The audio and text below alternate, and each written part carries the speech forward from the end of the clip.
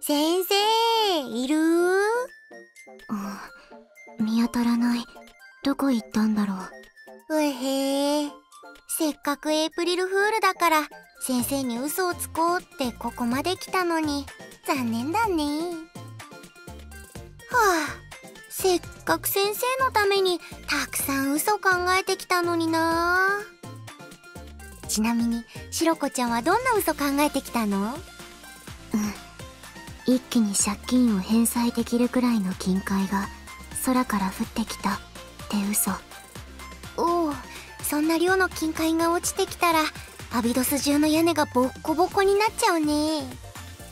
まあでも先生がいないならしょうがないね。帰ろっか。先生大変！空から大量の金塊が降って家賃の支払い問題が解決したわ。あちゃーまさかこの手の嘘つく人がこんな近場にもう一人いるなんてね。あら？あなたたち。あるちゃんどうどう？先生信じた？クフフ。ってありゃ？アビドスの。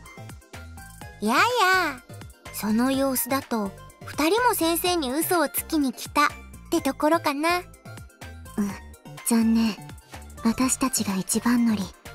そうそう。アルちゃんが人を騙すのもアウトローとしては欠かせないって。でも先生いないみたいだね。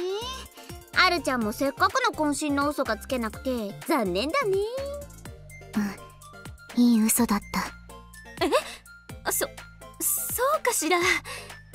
あなたたちにもそう言ってもらえるなんてアウトロー冥利に尽きるってものね。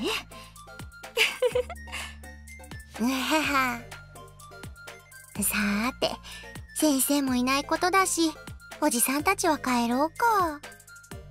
おや。どうしたの？星野先輩。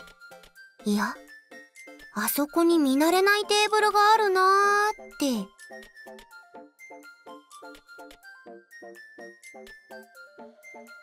んこれは麻雀卓ってやつじゃない？麻雀卓？あよくこわもてのアウトローが囲んでるテーブルよね。本物は初めて見たわ。まさにアウトローって感じね。手紙が置いてある。おやどれどれ？今日この場にやってきた生徒たちへこの台で麻雀を打ってください。勝った生徒には先生からお願いしたいことがあります。だって先生からの手紙みたいだね。先生からのお願い？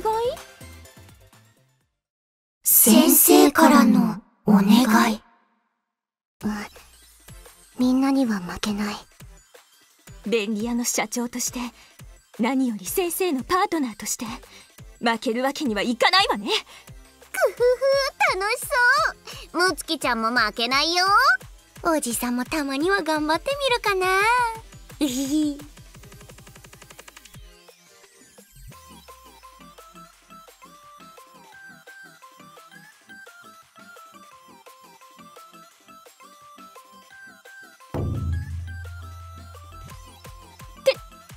って私麻雀のルール知らないんだけど？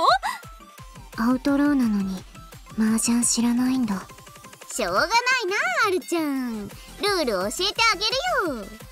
じゃあ今からルール覚えてお昼に改めて集合ね。ちょっと！私だけハード